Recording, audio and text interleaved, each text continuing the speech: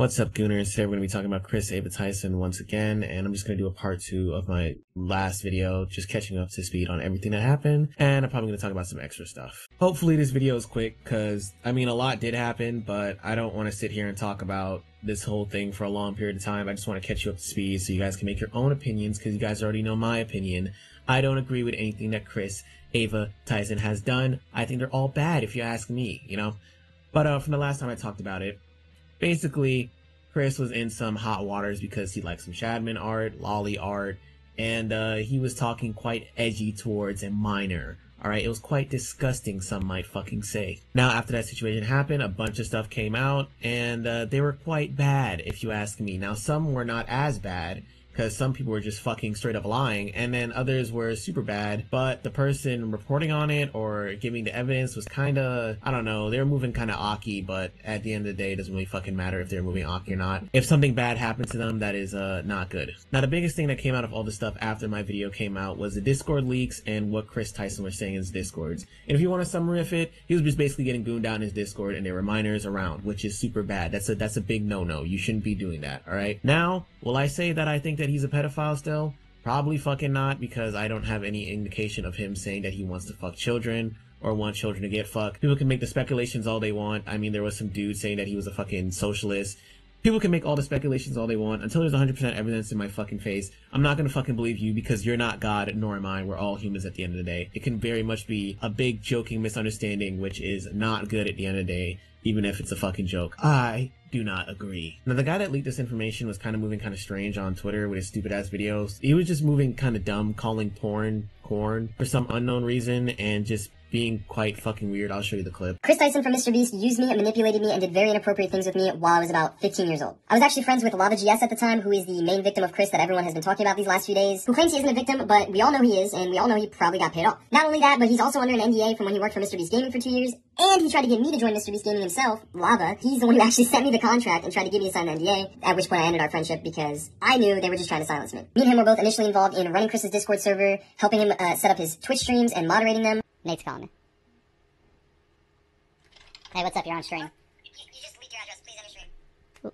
As well as other technical backend things that he needed help with. This Discord server that we were a part of had about 10 people in it, most of whom were minors. I'm not sure how they got in there, other than me and Lava. He won a giveaway, and Kris invited him after that. And Kris invited me after I saw one of his tweets asking for help setting up a Garry's Mod server for the 10 million subscriber Mr. Beast video. This turned into us having lots of private conversations with Kris and playing video games with him for hours on end. Not only did we do a lot of unpaid work for him that he promised he would pay us for, he would also frequently bring up sexual topics that was definitely not appropriate to bring up around 15, 16 year olds, especially with him being like, I don't know, 20, 21 years old. He would even go as far as linking me several different corn and hentai videos throughout the time of me talking with him. Not only that, but he had an NSFW bot in his Discord server before he made it public. So when it was just a private server, uh, his little circle of minors. And he would use this NSFW bot to spam different corn images, corn images, um, alongside all these 15 year olds. He would also frequently call me dad and daddy as well as the others, which I guess we all kind of just took as a joke at the time. You have to think this is someone who we looked up to at the time, we idolized, we thought was the coolest person in the world, so they couldn't really do any wrong in our eyes. But looking back, I was definitely uncomfortable uh, at being called. See, I'm not gonna lie, this first video sucked ass. First of all, saying that the victim is paid off, you're a fucking scumbag. Shut the fuck up. Like, you don't need to say some shit like that. It's so fucking dumb. And then he phrased it like he just got fucking absolutely butt fucked raped by this nigga named Kris, but all he did was talk about some NSFW shit. And yes, as I said again, bad, but this isn't like the super worst, fucking most disgusting, fucking evilest shit, giggly goon clown, like whole cult contemplating shit, like dog it's not that fucking crazy. I mean, I've been in servers before where people posted porn and I look at porn and I'm not sitting here like, oh my god, I can't wait to get molested by some of these dudes. Like, that just didn't happen. I mean, the calling daddy thing is kind of fucking weird. At the end of the day, that is disgusting and fucking, um, odd. Odd, you know. I wouldn't do it personally. It's just me. Normally, I just call somebody by their name, and if I'm making a joke, then that's where, you know, the joke is, and obviously make sure that everybody laughs at the joke. But, uh, if it's consistent, yeah, it's kind of kind of odd, kind of weird. But yeah, his whole demeanor is kind of ass and kind of throws the whole video off. But uh, people asked for proof, and then he provided the proof, which is the Discord logs. Yes, the the big old Discord logs. Everybody's like, oh my god, Kris Tyson is a fucking child molester. And he wants to rape all your kids, and, and, and they're all gonna be fucked by Kris Tyson. But before that, there was a second video, so I should put that bad boy for you guys. You should have the full context, the whole fucking pie, like everything. I can't give you one ass cheek and not the other. I was definitely uncomfortable uh, at being called daddy by a 20 year old, um, and it, even just thinking about it now, it's just uncomfortable. This server later went public and became his official Discord server, but before it did, he had me and Lava spend multiple days scrubbing this Discord server clean of all the N-words he had sent in it, as well as his friends, as well as deleting the NSFW channels and making sure no one could see that he was spamming corn to minors. This story is so much bigger and runs so much deeper than any of you really realize, so if you want to hear more and you want a part two, let me know. But yeah, that was the second part of the fucking cake, you know, the second layer to make the cake all delicious, the frosting on top. And it does sound quite disgusting, sending porn to minors and, uh, you know, having them erase all of it, which I don't even know why you need to do that. Can't you just literally delete the channel and then like, you know, just grab search you saying the N word and just delete all those messages. It's just like that simple. But yeah, the ending part was kind of shit ass, you know, just saying, hey guys, if you want a part two, uh, let me know, let me know. Um, I'll, I'll give you the part two where I got fucking raped. Like, you don't need to fucking do that, my nigga. Just tell the whole story, give us the fucking evidence, and uh, then boom, you're you you'll get the justice that you want. Everybody will hate Kris. I mean, everybody already hates Kris, but I don't know why you have to just be like, hey guys, let me know if you want a part two. Like, no shit, Sherlock. But apparently, in the fucking background, him and his friend were working on uh, giving us all the chat logs and everything. And uh, I guess they did successfully do it, but uh, the NSFW chat was missing for some reason. Now, don't get it twisted, those chat logs did look kind of shit ass, right? They're looking like my ass off from some Taco Bell. It wasn't really too fucking good, but a lot of these could be explained away by a misunderstanding or a joke, or you could give the benefit of the fucking doubt. And once you give the benefit of doubt to something, I don't fucking fully believe it until it's 100% proven. Now, I'm not sitting here saying I need to see a fucking video of this nigga Kris sending his dick pics to children. I don't need to see that, but like, obviously, I would like to see some intent of, you know, having wanting to have sex with children or sexual attractions to children. But all I'm seeing is that this guy was just fucking immature and dumb. And the reason why I'm giving so much leeway is because, you know, when I was younger, I used to be in servers where they had NSFW chats, and, uh, well, I wasn't fucking molested, so there's that, and I don't feel like a victim, so there's also that, and there's no one that tried to, um, I don't know, fuck me. Now, I wish it would be clear of how many members were in the server, or they could just show the members list and, like, identify who's who, because just saying a server full of minors isn't really, you know, proof. Like, you could say that, like, in these contexts, there are these people, and some of them are minors, but uh, I would like to know like the full server and how many of them were actually minors and how many were actually fucking adults. Because uh, word of mouth isn't really that uh that uh, useful when you're when you're claiming something. You kind of gotta kind of get evidence, you know. Not to shit on this guy or anything. Also, if you're wondering, I say, why are you being so nonchalant and relaxed and making jokes about this situation, saying that you know you didn't get raped or anything like that? It's kind of insensitive to the victim.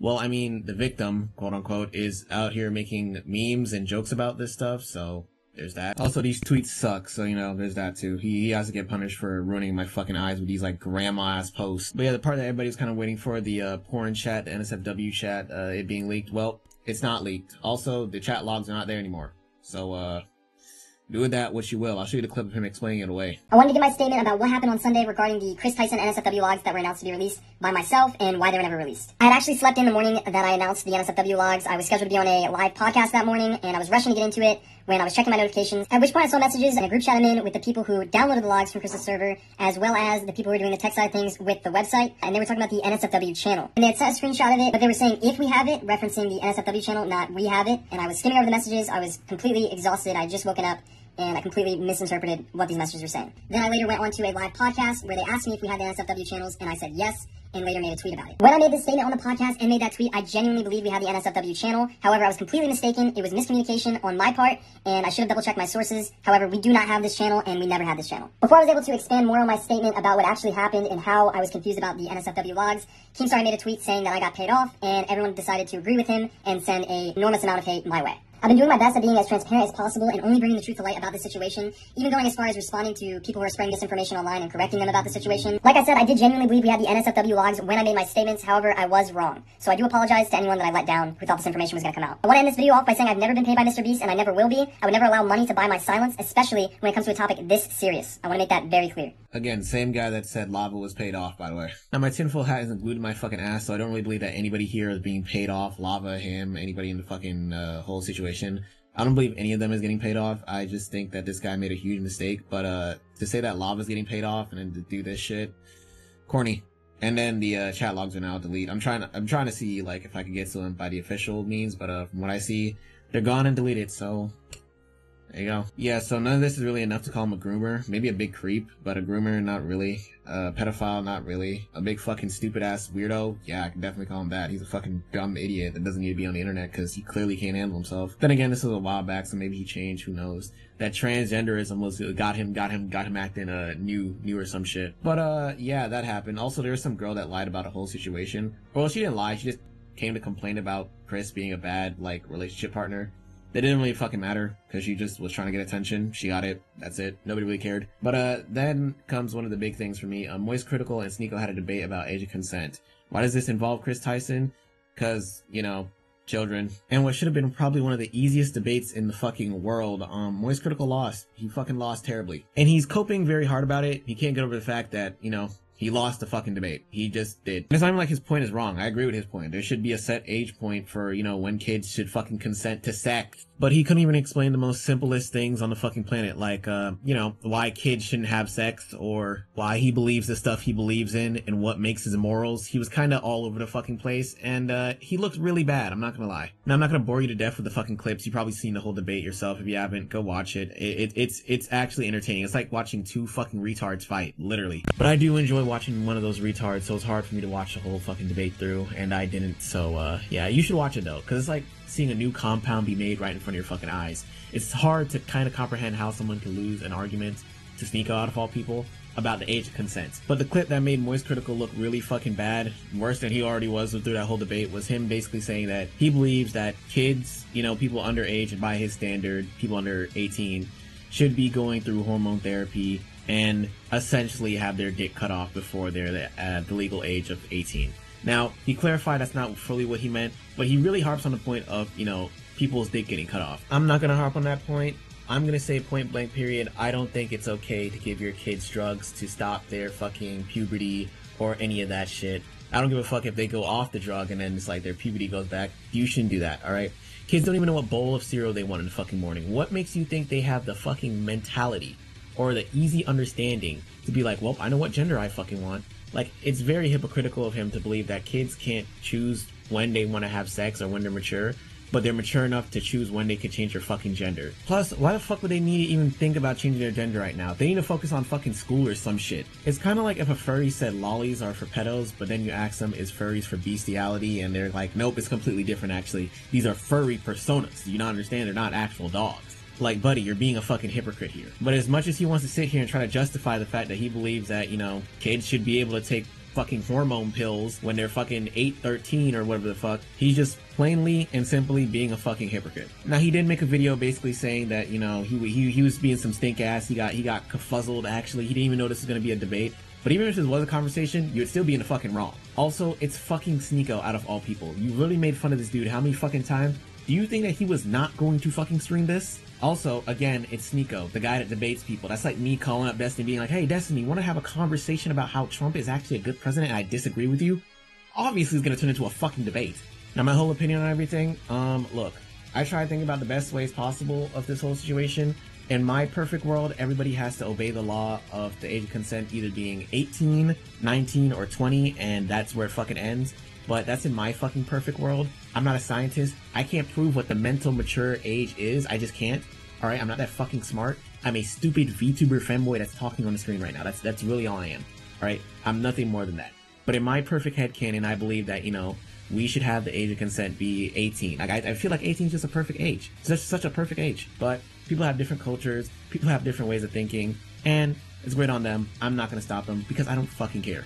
Also, not even a fucking opinion, just very easy to observe. Trey lost the debate bad. He's had so many fucking bad takes. Like this nigga, um, Sneako was telling him the actual definition of the words, and he said, "Who cares?" You can't say "Who cares" that because in that term of thinking, people can say that you know racism. Actually, you can't be racist to white people because white people aren't a fucking minority and then you could bring up the actual definition of racism and they'll be like who cares? Like you know that that excuse is just kind of shit. It, was so shit. But yeah even more drama. So apparently i guess we went into a fucking time machine and started losing our fucking minds. So now we're canceling everybody that fuck with shadman i feel like that's so fucking stupid but eh, you know it's twitter. I'm, I'm, I'm not gonna fucking stop them. I don't even fucking care that much. But nuxtaku is in some hot water. I don't really like nuxtaku. Not a big fan. I think he's an asshole. I think he just sucks all around as a youtuber but he is in some hot water over some Shadman situation. which I think is fucking stupid. And everybody that's like, oh my god, Nux, you you you were gonna do a collab with Nux? Uh, are you gonna do a collab with Shadman? I can't believe you. This is so disgusting. This is so bad. Everybody that's saying that shit, and even with Mutahar saying that if that happened, it would be really bad. Like my nigga, you've known this nigga for how long? You're telling me you didn't know that he was gonna probably do a collab with Shadman? And even if he did, so what? It's not like he's sitting here saying, "Oh my God, Shad, Shadman, you should draw more children getting fucked. Or maybe he just didn't know about Shadman drawing the fucking things. Like, there are two images that were super fucking bad out of all the thousands of images man Shadman drew. And people's excuse is, well, he should have fucking known. That's a shitty excuse. That's all I have to fucking say on that. But don't take this from me saying I like Nux Nuxtaku. But don't take this from me saying I like Nuxtaku. I don't. Fuck that guy. I'm just not a Nuxtaku fan. He's a very shitty person for my eyeballs for what he did to a lot of people. A lot being two in my head right now, to be honest with you. Also, Mr. Beast is getting canceled because one of his friends signed his shirt or he's doing some illegal, like, lot, some shit. He's rich. I don't fucking care that much. Now, if you made it this far into the video, you probably realized something quite interesting about today's video. It's not structured. It's not even fucking edited. I'm barely doing anything except talking and rambling about nonsense, and I sound like a fucking lunatic. Well, um, let me put it like this. Uh, kind of depressed, uh, not really too happy. And this is the part where I'm going to talk about my own thing now. So technically the video ends right here. Um, I should do a little outro. The the message of today's video is uh, go fuck yourself. But uh, yeah, not not really too happy. I'm sad. I don't like doing this stuff. I like making videos. Don't get it twisted. I like making videos, but I wish I make videos on stuff that are like fun. Now I know what you're thinking. I say you're literally a fucking nobody. Shut the fuck up and just make videos about stuff that are fun. And uh, yeah, I'm gonna try to do that. I'm trying to stream more. I always say I'm gonna try to, but I don't, and I come back to making these drama videos. But that's what like people want to watch, unfortunately. But uh, no, I'm gonna go try to make my. When I, I, I don't know. Uh, there's a lot of shit I want to do. So much shit I want to do, and um, it's not talking. And the things I want to do is not talking about lollies and if it's fucking CP and pedophiles and people touching on kids. I just don't want to talk about that all the time. I do way too much research for a bunch of fucking retards, and uh, that's that's not what I want to do. So, yeah, I'm gonna try to try to do some more cooler stuff in the future. I'm gonna make videos about things that aren't related to drama topics. I'm gonna try. I'm, I'm gonna talk about drama topics, but uh, I'm gonna try to do that less. I don't really care that much anymore. Like as much as I would love to protect the kids and stuff like that, there's nothing to really protect here. I guess Kris Tyson could have been a pedophile. He could have not been. I don't fucking know. There's no evidence really to give me that. It's just a bunch of screenshots of him being immature. I don't care that much. And this whole drama, I cared in the beginning because it was crazy, but then I started caring less and less because the people that are coming out are kind of shitty. The people that are part of the team are kind of shitty. Everything about this is shitty. Yeah, but uh, I, I know this is like so rambly, rambly, rambly. Uh, boo who gives a fuck? Cry me a fucking river. But um, yeah, I said but um like seventeen thousand times. I'm keep saying but um, but um, I made a model, a new model, new femboy model. I'm gonna debut it tomorrow. Not tomorrow. I don't know why I said that. I lied to you guys. I'm gonna debut it soon and I'm gonna make another model, which is the other model in the background. And it's just gonna be fire. I'm gonna fix up my mic because my mic does sound good when I get close, but when I don't get close, it doesn't sound good and shit. I don't fucking know, dude. The message of this point of the video is don't eat liver cheese.